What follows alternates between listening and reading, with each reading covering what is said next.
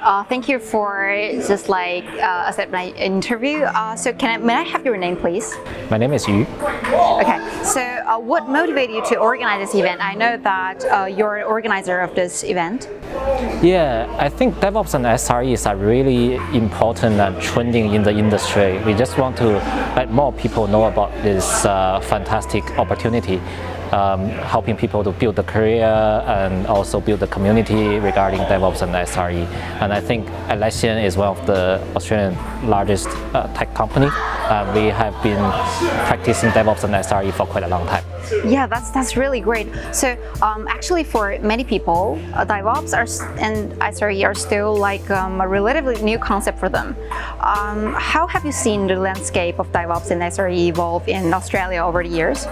Yeah, definitely. Um, I think in Australia, a lot of companies are trans transforming themselves uh, from server to cloud. So they call it uh, digital transformation. And during this journey, DevOps and SREs are, are necessary skills and um, roles for company to be successful to help their cloud services to be reliable and uh, scalable. So in the next couple of years, if you look, look up on seek.com.au or some other statistic websites, you'll see a tremendous growth in this area. Okay, so from your professional perspective, uh, what are some of the most common challenges faced by individuals looking to transition into DevOps roles in Australia? Yeah, definitely. Uh, there are four pillars, I think, for every person who would like to transit their career into DevOps and SREs. So first, first of all is their domain knowledge.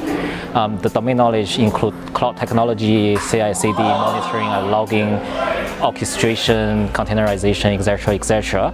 These are trainable, right? What I think most people are lacking of are the experiences. They haven't really touched based on some of the projects that can help them accumulate the experience. And that those experiences are really important to knock into the tech industry. And the third pillar is definitely interview skills. DevOps and SRE require a lot of communication, uh, leadership, collaboration, and, and, more and more soft skills. Um, so if people haven't really demonstrated those skills, I would recommend they need to uh, practice on those skills. And the fourth, the fourth pillar is just luck. And they just need to consistently try out and be commi uh, commit to, to transit themselves into the tech industry. Yeah, definitely. Um, so I know that you're one of the co-founder of JR Academy, which provides IT training bootcamps. Um, can you share a success story from JR Academy where a student made a significant transition into DevOps role? Oh yeah, definitely. Uh, we have a lot of uh, success stories. In the past three, four years, we actually helped hundreds of students land their tech jobs in Australia. Yeah uh, tech industry, uh, especially in DevOps area. And I still remember some of my students who used to be sushi shop owners, supermarket admins, and also we got nurses as well. Um, they managed to transit from you know non-IT professionals into the, the IT professionals. Oh, that's that's that's really great. I mean, a sushi store. that's really can imagine. Um, okay, so uh, how do you believe the Australian IT industry's growth is impacting the demand for DevOps and SRE experts? You mean the demand is increasing or like decreasing?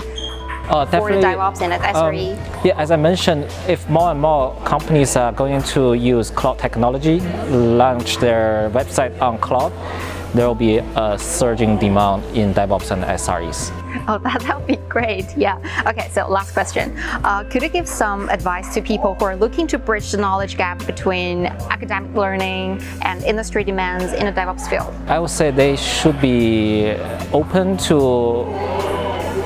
do some networking, going to some events like the events that we are hosting today, um, to open up their, their horizon, understand what's going on in the industry because I, I see a clear gap between the academia and the industry, uh, especially for DevOps and SREs. Most of the challenges are actually coming from the industry. So if you, they can build the connection with the industry, that would be the best. And in JR Academy, we offer DevOps Bootcamp, which our instructors are actually from the industry.